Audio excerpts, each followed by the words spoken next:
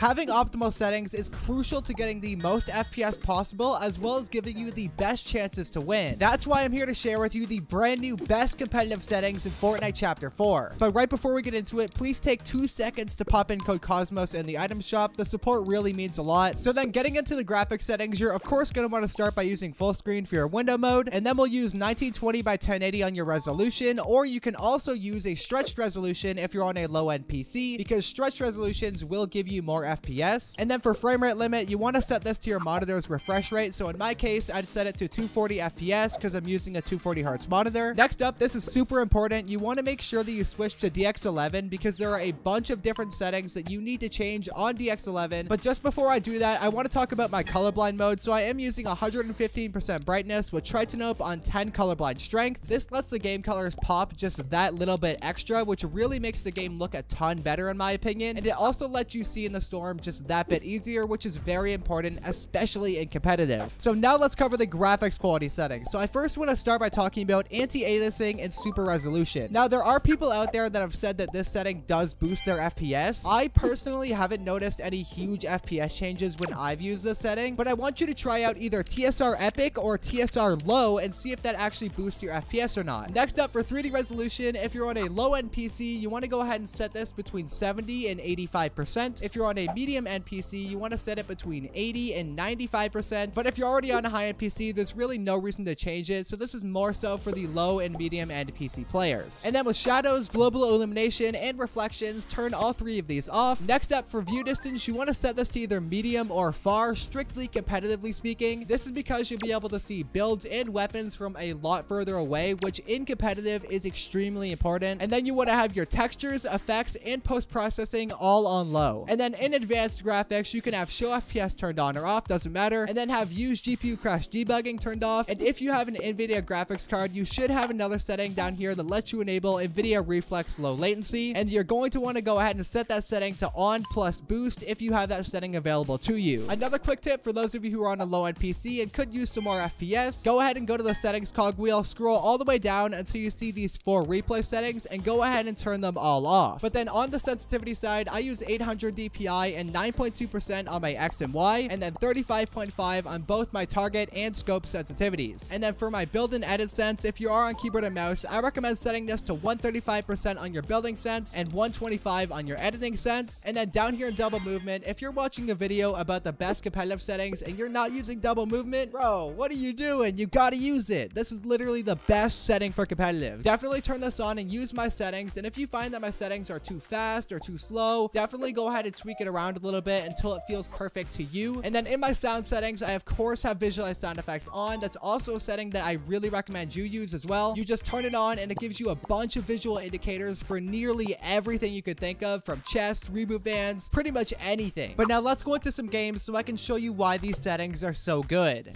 Edit that, edit that, edit that. Cone, maybe? Oh, actually, Cone, what are you doing, bro? We're literally standing there.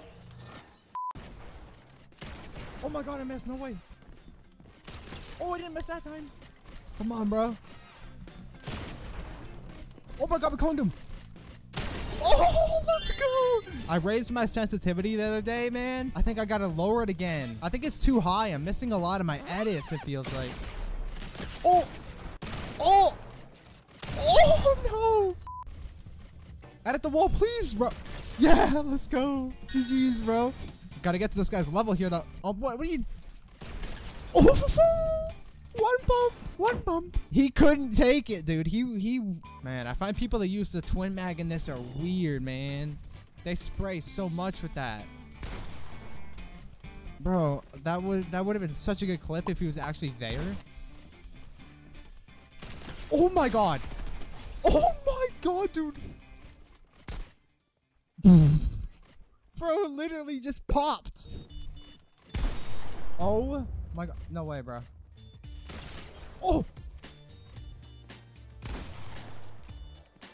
Let's go! Oh my god, bro. Let's go. Oh, dude. I'm like the flash on these settings, dude.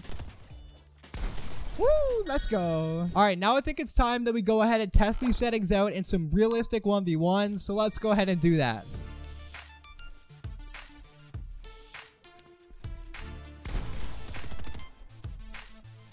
Oh my god, bro. These settings are just way too good.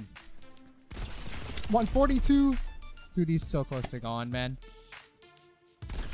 Bro, why are you drinking minis in the open, dude? What are you doing?